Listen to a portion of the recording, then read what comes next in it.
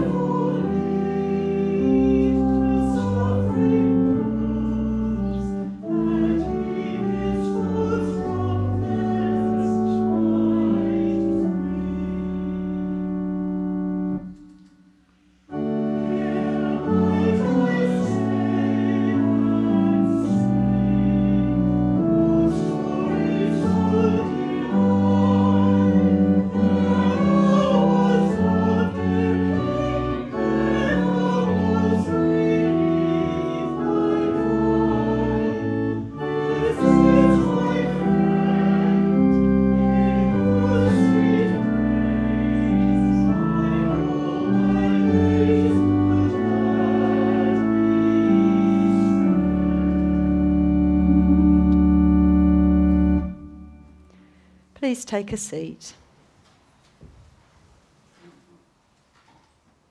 Dear brothers and sisters, during Lent we have been preparing by works of love and self sacrifice for the celebration of our Lord's death and resurrection. Today we come together to begin this solemn celebration in union with the Church throughout the world. Christ enters his own city to complete his work as our Saviour, to suffer, to die, and to rise again.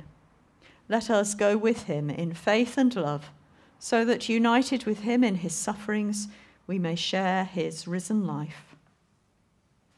And so, as we hold our palm crosses, I invite you to hold them before you as we say together God, our Saviour, whose Son, Jesus Christ, entered Jerusalem as Messiah to suffer and to die, let these palms be for us signs of his victory, and grant that we who bear them in his name may ever hail him as our King and follow him in the way that leads to eternal life who is alive and reigns with you in the unity of the Holy Spirit, one God, now and forever. Amen. So we're going to hear the Palm Gospel, which is read for us by Isabel, coming via, vid- via video. Hear the Gospel of our Lord according to Luke.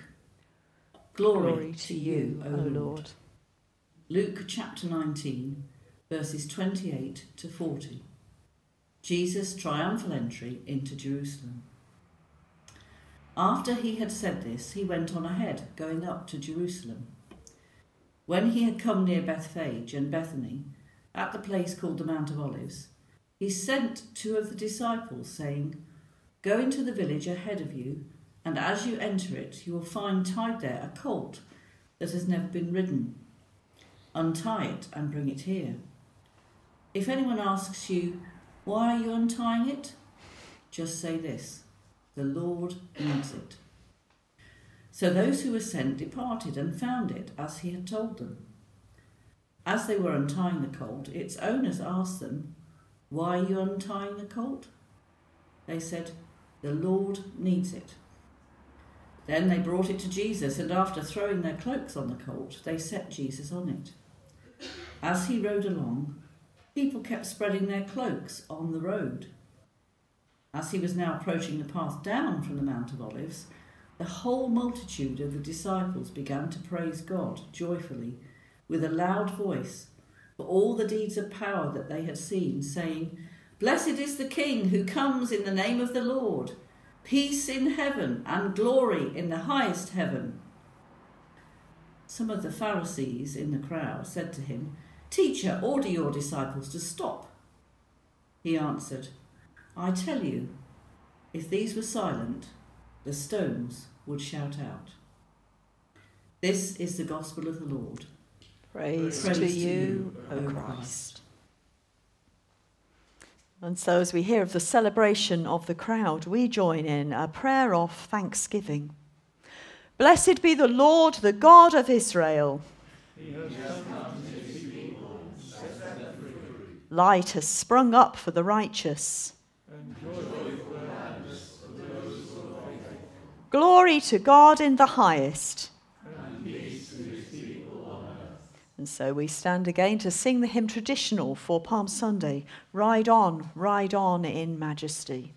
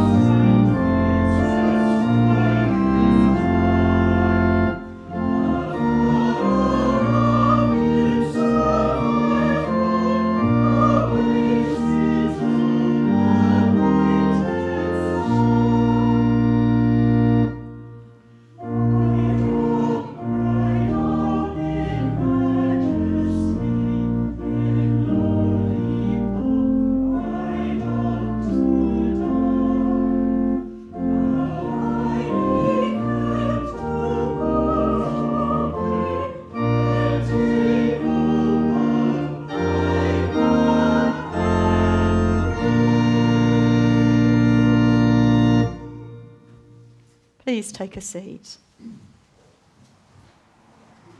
We join together in the collect prayer for today. True and humble King, hailed by the crowd as Messiah, grant us the faith to know you and love you, that we may be found beside you on the way of the cross, which is the path of glory. Amen. So, our next Bible reading will be read to us by Mike. The second lesson is from Paul's epistle to the Philippians, chapter 2 and verses 5 to 11. Imitating Christ's humility. Let the same mind be in you that was in Christ Jesus, who, though he was in the form of God, did not regard equality with God as something to be exploited, but emptied himself, taking the form of a slave. Being born in human likeness, and being found in human form, he humbled himself and became obedient to the point of death, even death on a cross. Therefore, God also highly exalted him and gave him the name that is above every name, so that at the name of Jesus every knee should bend, in heaven and on earth and under the earth, and every tongue should confess that Jesus Christ is Lord, to the glory of God the Father. This is the word of the Lord. Thanks, Thanks be be to God. to God.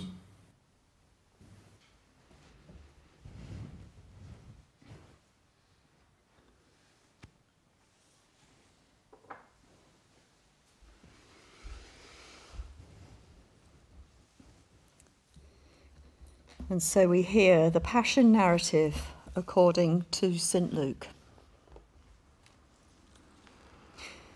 Jesus took his place at the table and the apostles with him. He said to them, I have eagerly desired to eat this Passover with you before I suffer, for I tell you, I will not eat it until it is fulfilled in the kingdom of God. Then he took a cup. And after giving thanks, he said, Take this and divide it among you yourselves. For I tell you that from now on I will not drink of the fruit of the vine until the kingdom of God comes. Then he took a loaf of bread, and when he had given thanks, he broke it and gave it to them, saying, This is my body which is given for you. Do this in remembrance of me. And he did the same with the cup after supper, saying, this cup that is poured out for you is the new covenant in my blood. But see, the one who betrays me is with me, and his hand is on the table. For the Son of Man is going as it has been determined, but woe to that one by whom he is betrayed. Then they began to ask one another which one of them it could be who would do this. A dispute also arose among them as to which of them was to be regarded as the greatest.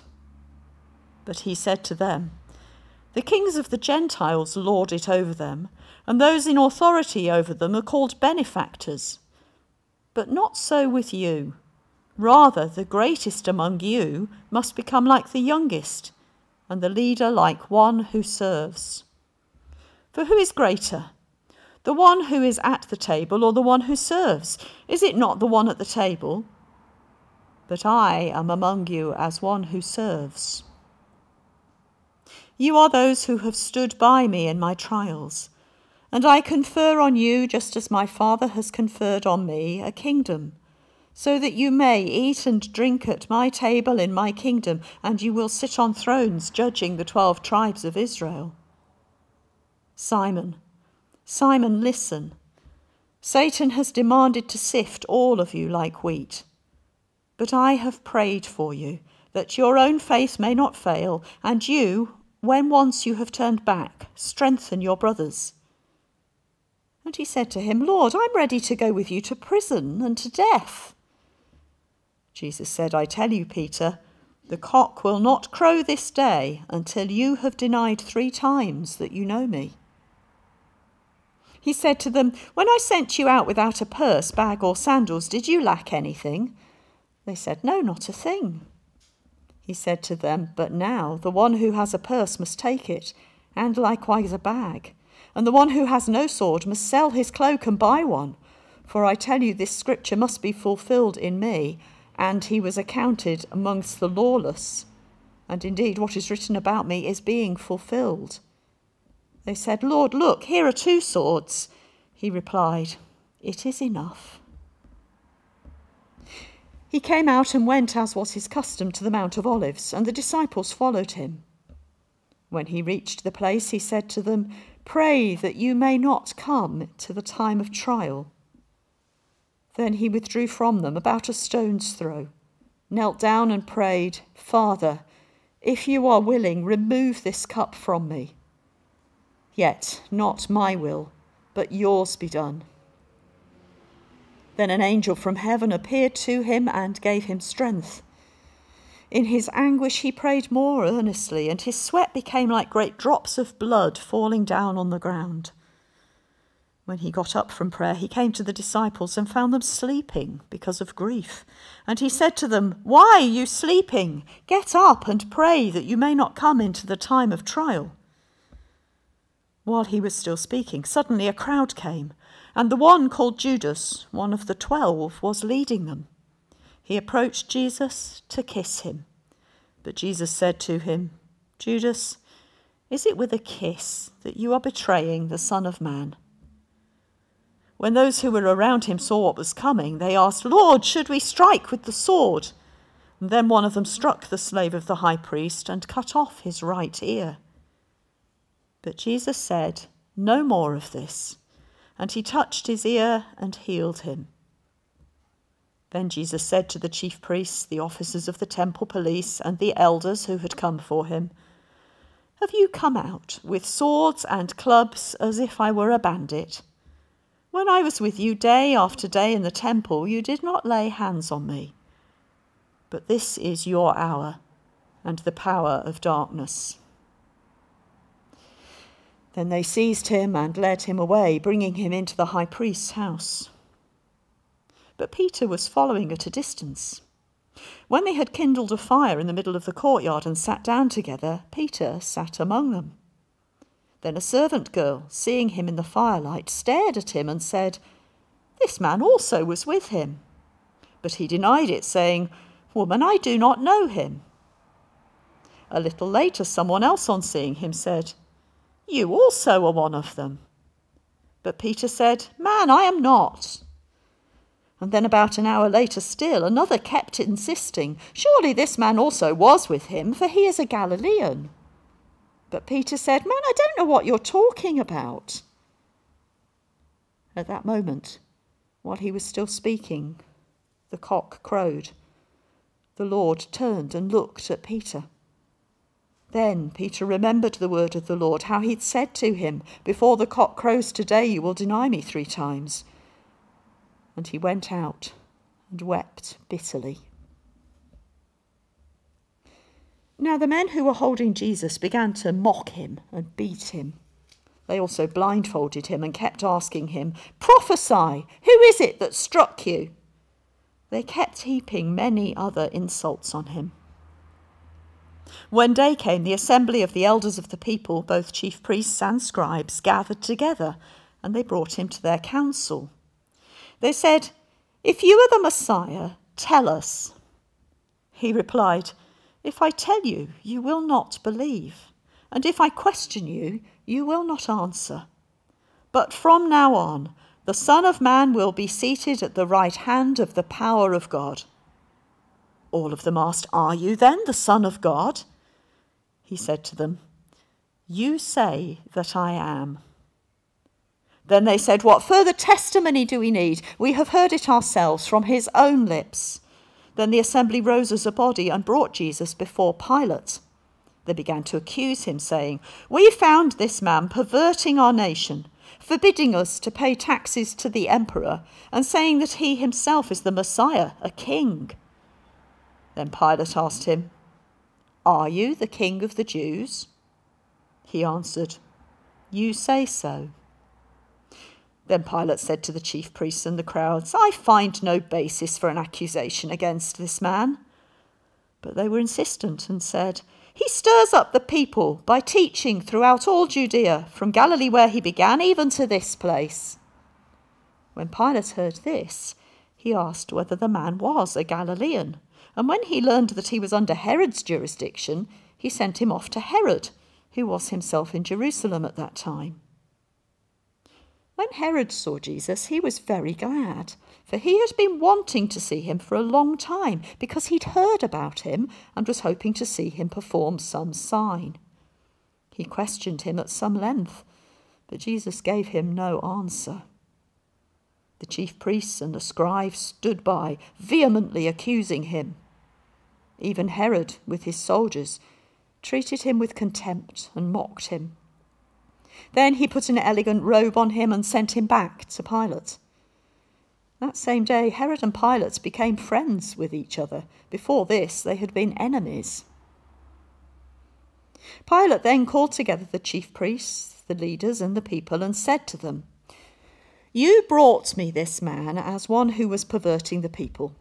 And here I have examined him in your presence and have not found this man guilty of any of your charges against him. Neither has Herod, for he sent him back to us. Indeed, he has done nothing to deserve death. I will therefore have him flogged and release him. Now he was obliged to release someone for them at the festival. Then they all shouted out together, Away with this fellow! Release Barabbas for us! This was a man who'd been put in prison for an insurrection that had taken place in the city and for murder. Pilate wanting to release Jesus, addressed them again, but they kept shouting, Crucify! Crucify him! A third time he said to them, Why, what evil has he done? I have found in him no ground for the sentence of death. I will therefore have him flogged and then release him.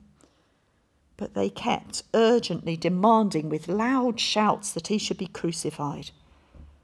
And their voices prevailed. So Pilate gave his verdict that their demand should be granted. He released the man they asked for, the one who'd been put in prison for insurrection and murder, and he handed Jesus over as they wished. As they led him away, they seized a man, Simon of Cyrene, who was coming from the country, and they laid the cross on him and made him carry it behind Jesus. A great number of the people followed him, and among them were women who were beating their breasts and wailing for him. But Jesus turned to them and said, Daughters of Jerusalem, do not weep for me, but weep for yourselves and for your children. For the days are surely coming when they will say, Blessed are the barren, and the wombs that never bore, and the breasts that never nursed. Then they will begin to say to the mountains, Fall on us, and to the hills, Cover us. For if they do this when the wood is green, what will happen when it is dry? Two others also, who were criminals, were led away to be put to death with him. And when they came to the place that's called the skull, they crucified Jesus there with the criminals, one on his right and one on his left. Then Jesus said, Father, forgive them, for they do not know what they are doing. And they cast lots to divide his clothing. And the people stood by watching, but the leaders scoffed at him, saying, He saved others, let him save himself, if he is the Messiah of God, his chosen one.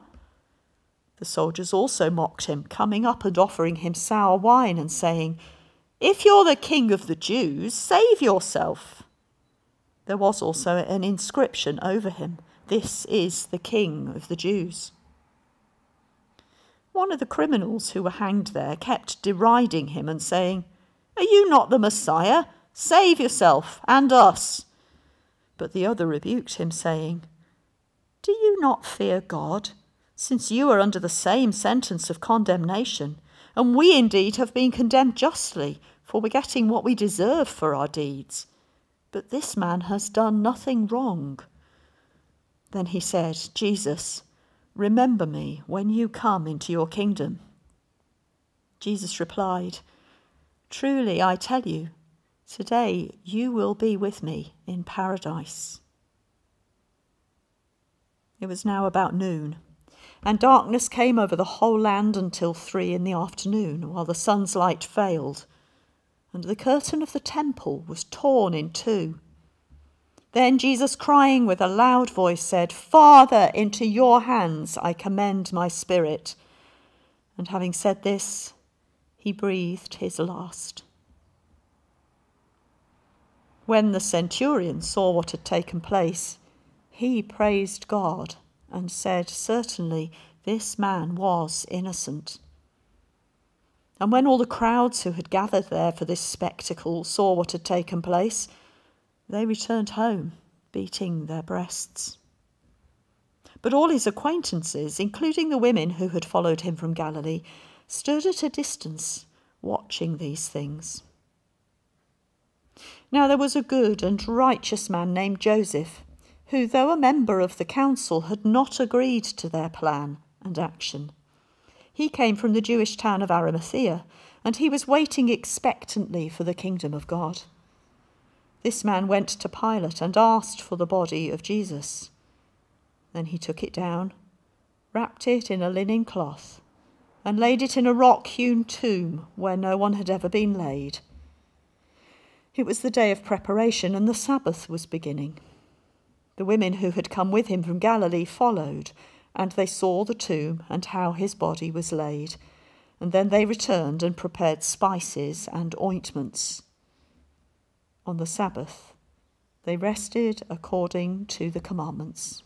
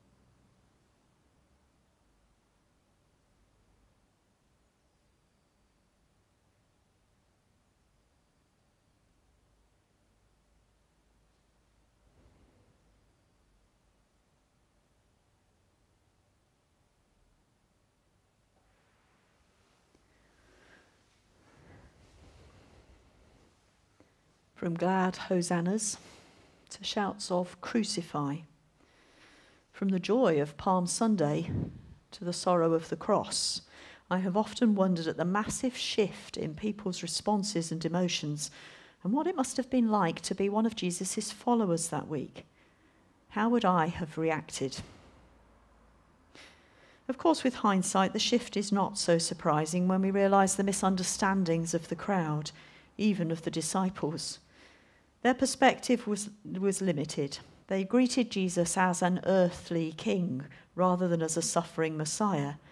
They expected him to rule, to throw out the Romans, not to serve, to conquer, not to die. Even at its best, the love and commitment his followers offered him was flawed, more about what they wanted from him rather than what he came to do. But then I ask myself, isn't that the same of me? The betrayal and crucifixion of Jesus were integral to God's purpose and to the new kingdom Jesus was bringing in. It wasn't some terrible error that God then somehow put right on Easter Sunday. He was the king, victorious. But God's victory is a paradox to us, it turns our world upside down. Over the centuries, the church has used many different analogies and images to try to explain how Jesus' death on the cross brought forgiveness and victory. As a sacrifice, or as a justification paying the price for sin, building a kind of bridge between us and God. As a ransom, as a victory over Satan and over sin and death, or as a display of God's immeasurable love for us and a kind of wake up call for just how lost we are that we should end up crucifying God's Son. None of these on their own tell the full story, and the truth, I think, lies in a mixture of all of those. The cross is indeed a divine mystery, both in how it works, but perhaps more importantly, in the unfathomable depth of love it displays from God to his undeserving creatures. That's the real mystery. In the face of such great love, the how really becomes irrelevant. And what matters more is what am I going to do about it? What is my response? And the only answer I can have is to repent and to gratefully receive. In the face of God's great love and righteousness, I have nothing to give and so much to be sorry for. I can only turn to God and gratefully receive His mercy, His forgiveness, His love, and His offer of new life. And so we come now to a time of confession. God shows his love for us in that while we were still sinners, Christ died for us. Let us then show our love for him by confessing our sins in penitence and faith. We say together, God of mercy, we acknowledge that we are all sinners. We turn from the wrong that we have thought and said and done and are mindful of all that we have failed to do. For the sake of Jesus who died for us, forgive us for all that is past and help us to live each day in the light of Christ our Lord. Amen. May God, who loved the world so much that he sent his Son to be our Saviour, forgive us our sins and make us holy to serve him in the world through Jesus Christ our Lord. Amen. And now, as we come to a time of prayers for our world, Richard is going to lead us.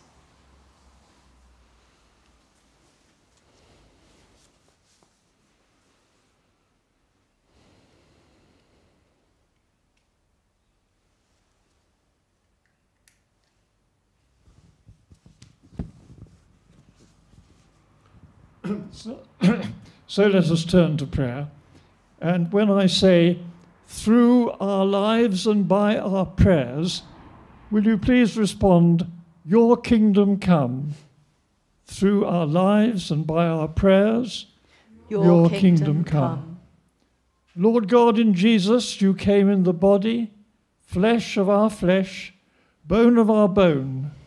We thank you that you did not remain an idea, but walked, wept, and washed feet among us. By your love, change our ideas, especially our religious ideas, into living signs of your work and will. Through our lives and by our prayers, your, your kingdom, kingdom come. come.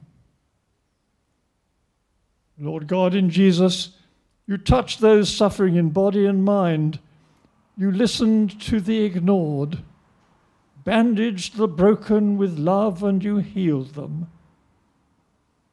We remember tonight those whose flesh and bone, or mind and spirit, are today filled with pain. So name any you wish to name in your hearts.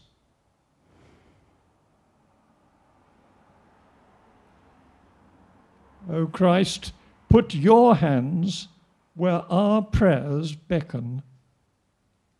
Through our lives and by our prayers, your, your kingdom, kingdom come. come. Lord God, in Jesus, your body was broken by the cowardly and the powerful. Take on the powerful of the world today, those whose sentences whose word of sentence some to cruelty, and those whose silence condones the injustice that they have power to change. Lord, let's remember some situations in our world where that is so true. These sentence to a life of uh, hell and disaster. O Saviour of the poor, liberate your people through our lives and by our prayers. Your, Your kingdom, kingdom come. come. Lord God, by the authority of Scripture, we learn that we are the body of Christ, even we whose understanding of you is so changeable, and you may think we are insignificant. Then, Lord, make us like you, that our souls may be the stained glass through which your light and purpose bring beauty and meaning into the world. Through our lives and by our prayers, Your, your kingdom, kingdom come. come. Merciful Father, Accept accept these prayers prayers For the, sake of your Son, our Saviour, Jesus Christ. Amen.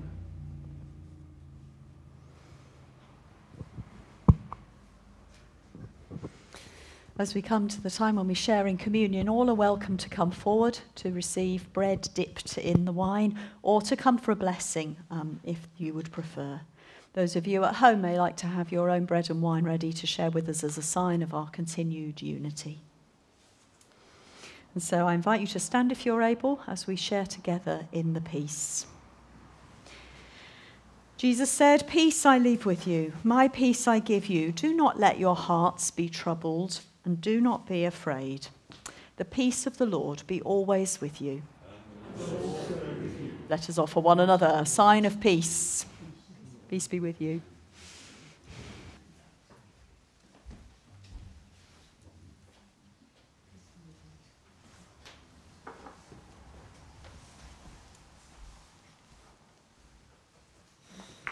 As the table is prepared and the offering brought forward, we sing together our next song, From Heaven You Came.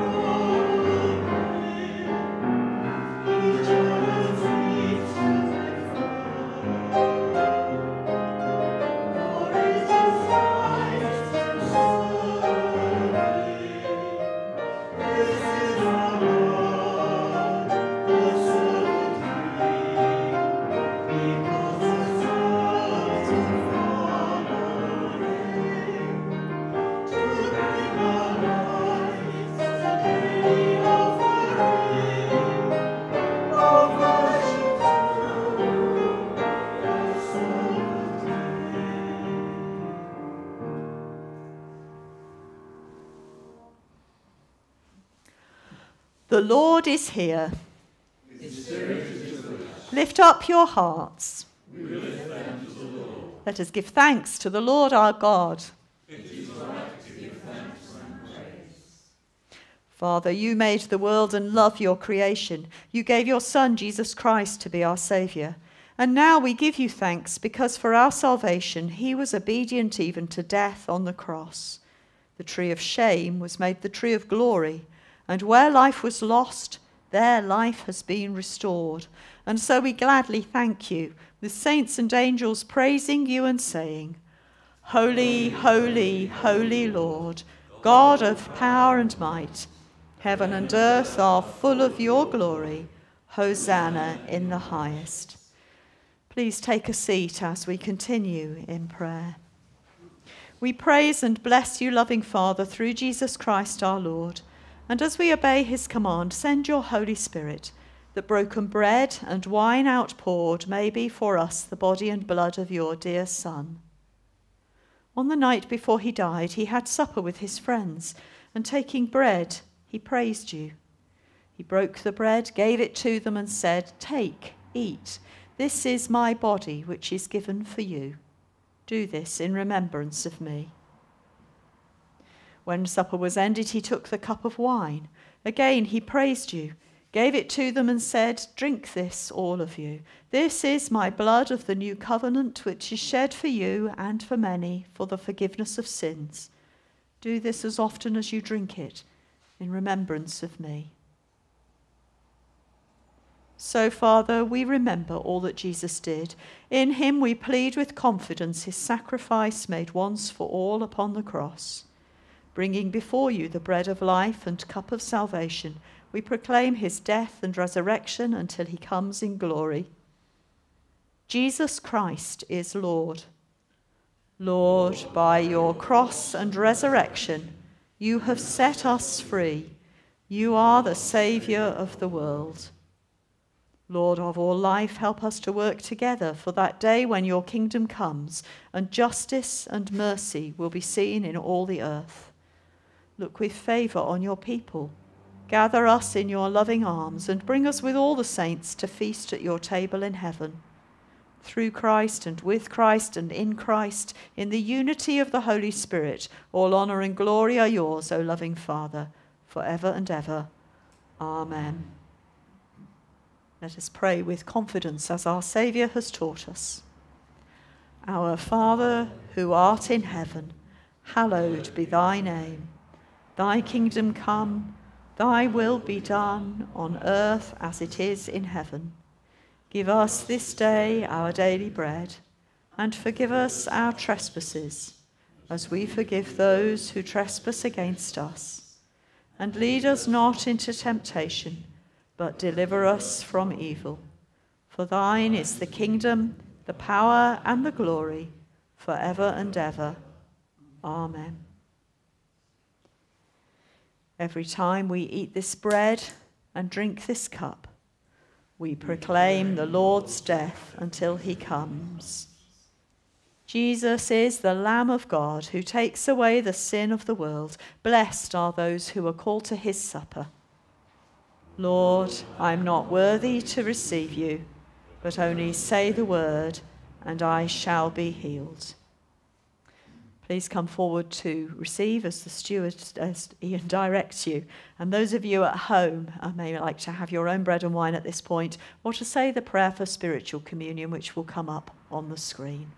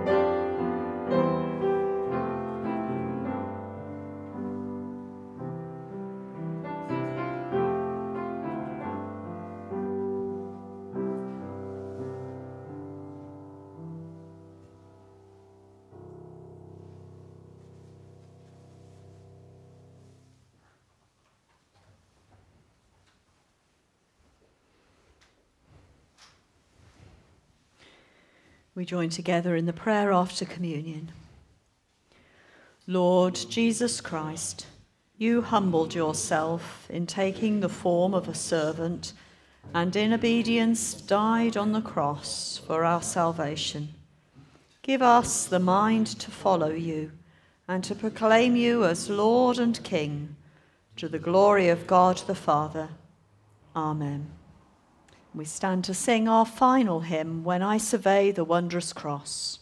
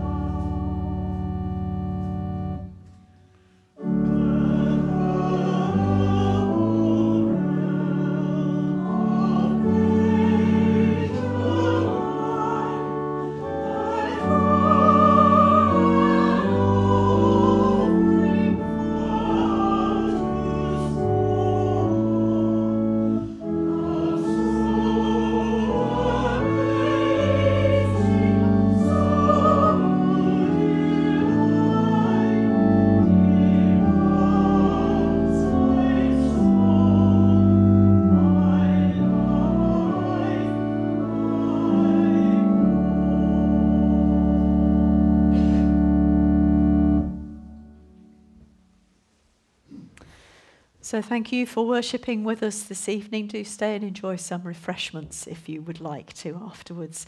And just a reminder to pick up the, uh, serv- the card about the services and events, and I hope to see you again during the week.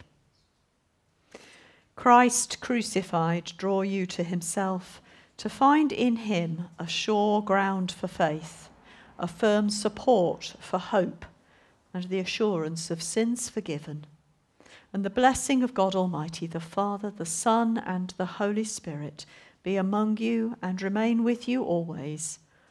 Amen. Go in peace to love and serve the Lord. Of